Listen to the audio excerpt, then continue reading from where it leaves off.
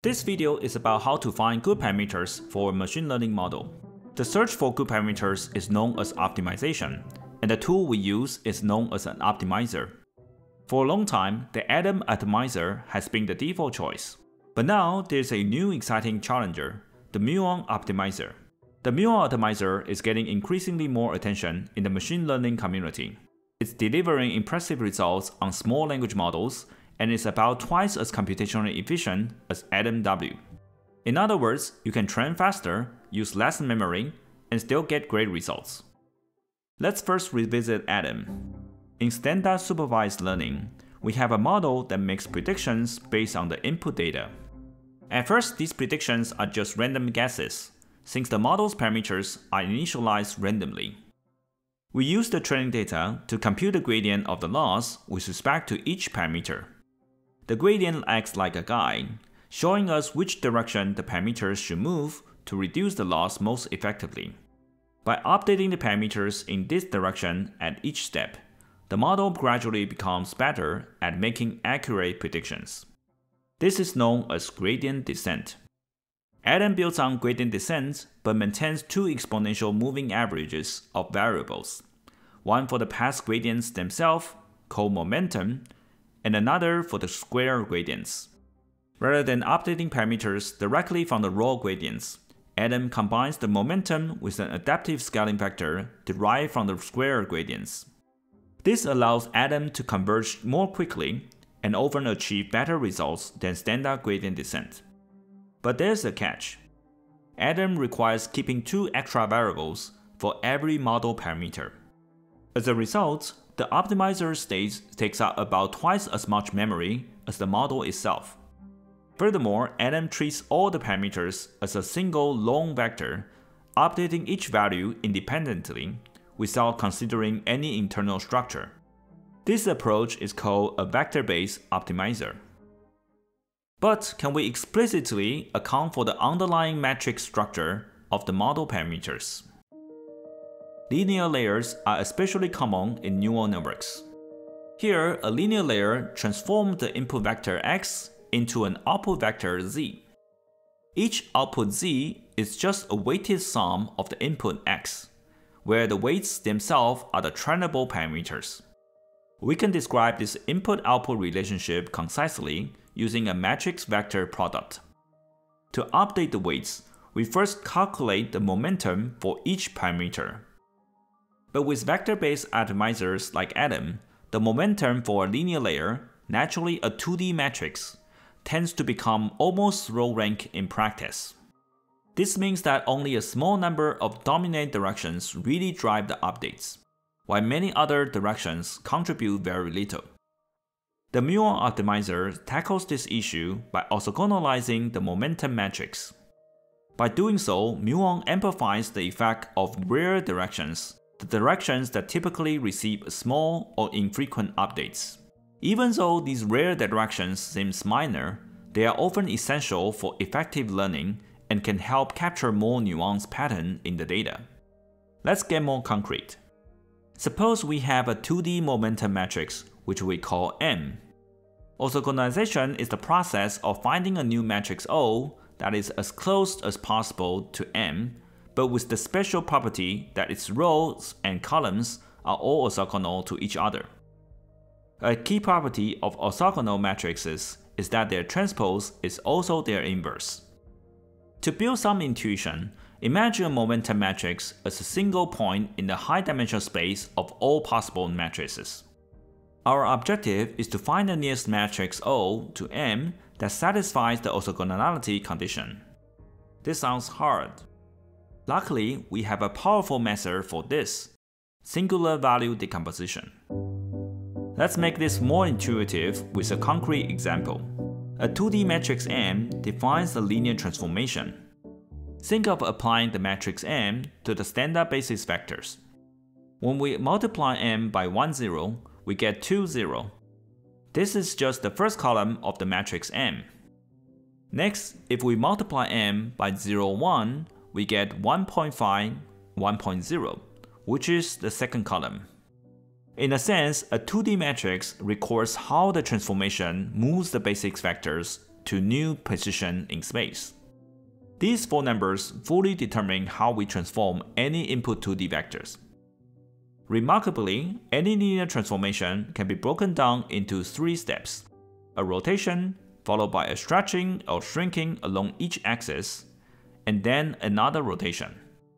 Mathematically, this process is called singular value decomposition, or SVD.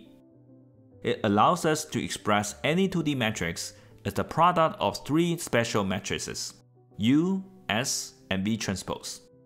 When we apply a linear transformation to a vector, we can think of it as first rotating by V transpose, then scaling each coordinate by the diagonal entry in S, and finally rotating again by U.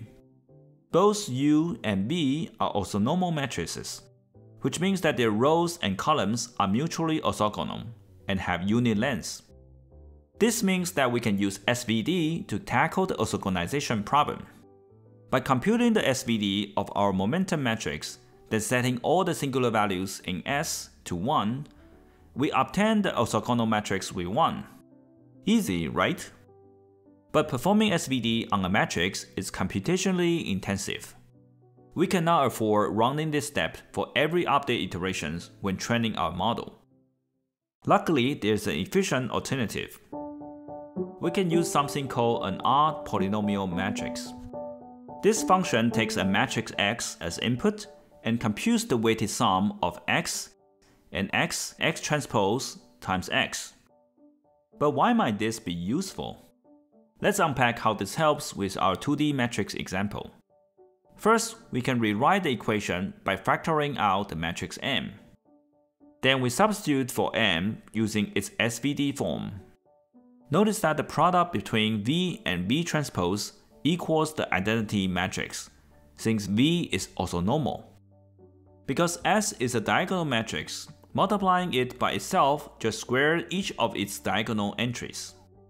As we distributed the matrix multiplications, certain terms like U transpose U simplify to the identity, leading to a much cleaner expression.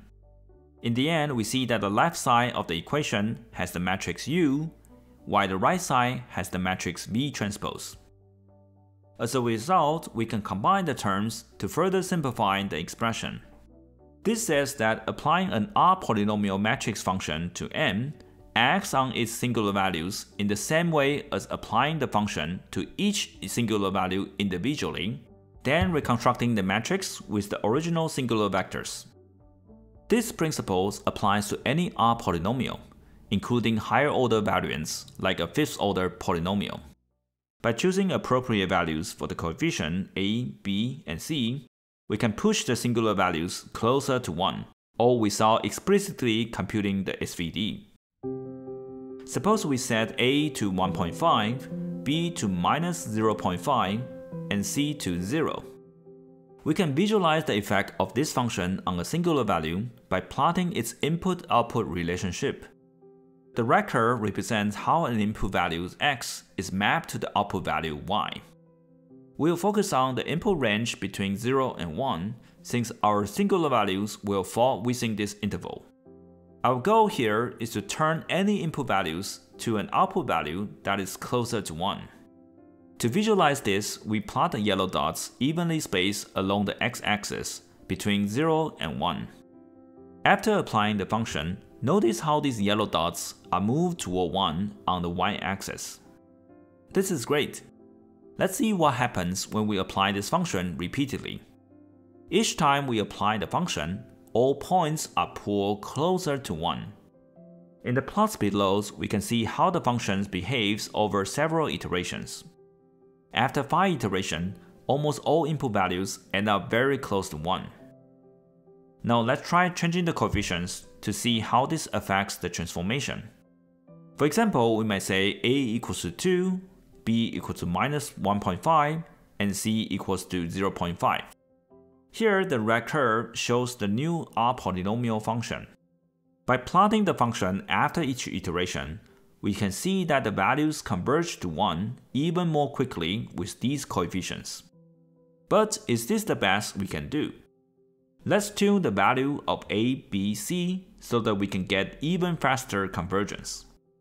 First, increasing the value of a is crucial, as this coefficient primarily controls how quickly small initial singular values converge towards 1.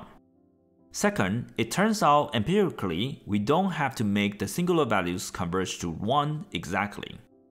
We just need them to be bounded by a certain range, for example, between 0.7 and 1.3. This leads to attuned coefficients of a, b, and c. After just a few iterations, we can map any singular values between 0 and 1 to the desired range. With this trick, we can now write down the algorithm. For each update iteration, we first compute the gradient gt using backpropagation. We then update the momentum as an exponential moving average of the past gradients. Next, we normalize the 2D momentum matrix so that it has unit norm. This ensures that the initial singular values are all between 0 and 1. We repeat this orthogonalization process 5 times to get matrix O, and then use O to update the parameters. Each iteration involves only matrix multiplications, which can be efficiently computed with GPUs, without the need to compute SVD.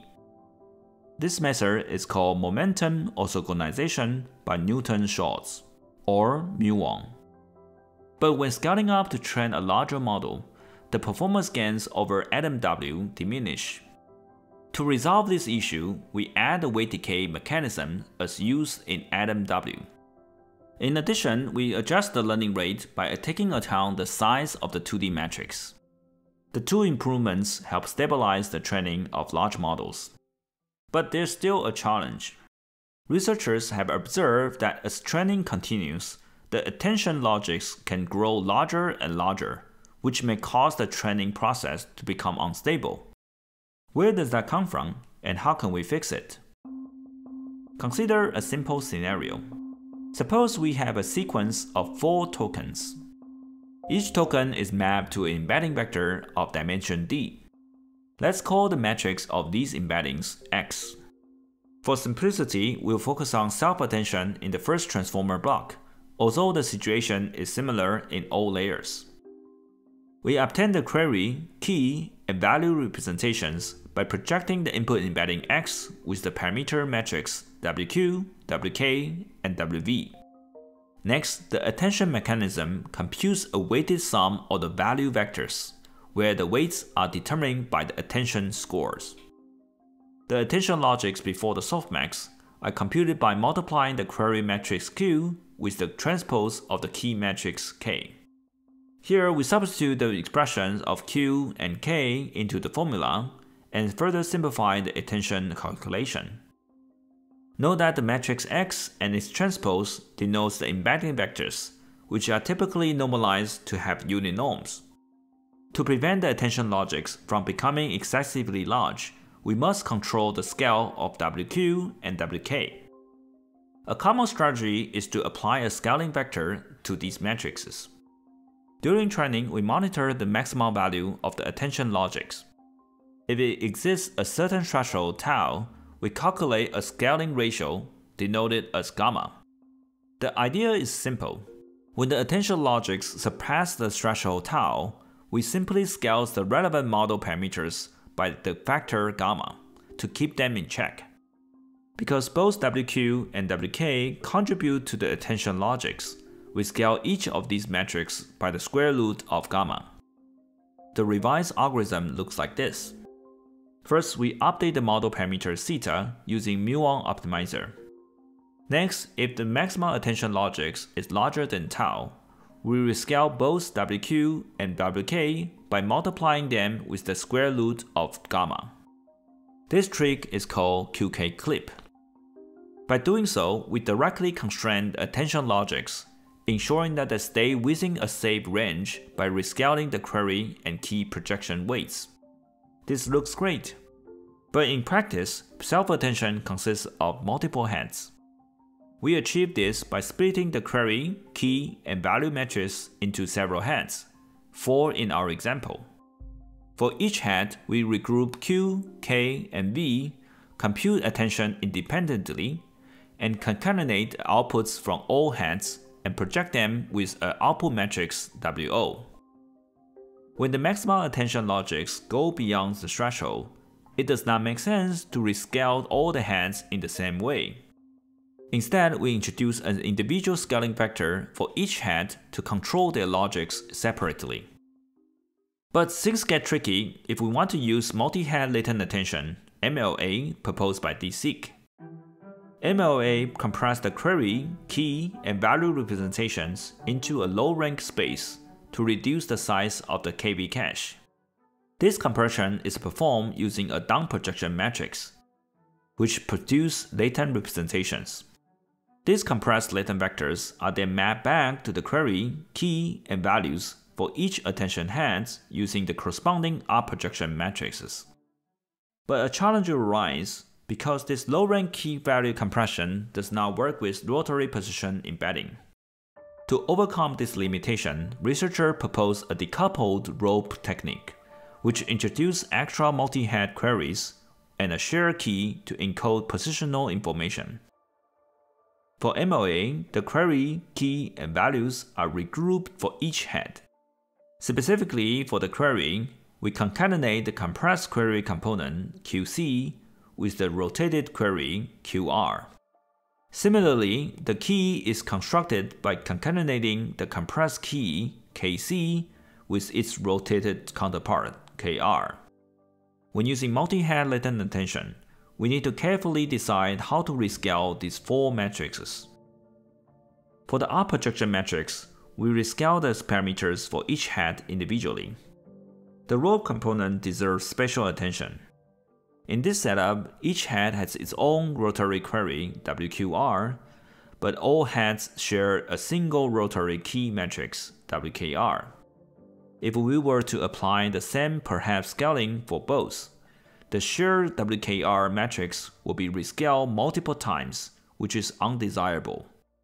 To handle this properly, we rescale only the head-specific rotary queries WQR by their respective gamma h, while leaving the shared rotary key matrix WKR unchanged. This technique is called muon clip.